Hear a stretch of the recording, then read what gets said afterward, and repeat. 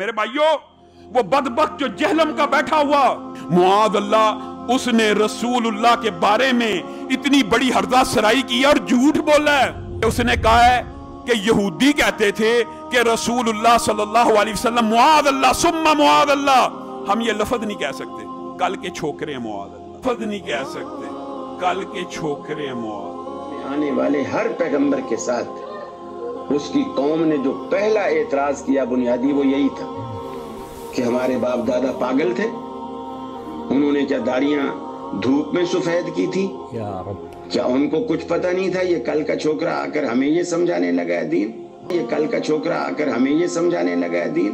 ये कल का छोकरा आकर हमें ये समझाने लगा है दीन? बुज़ुर्गों से पूछ पूछ के ये कल का छोकरा कर रहा है।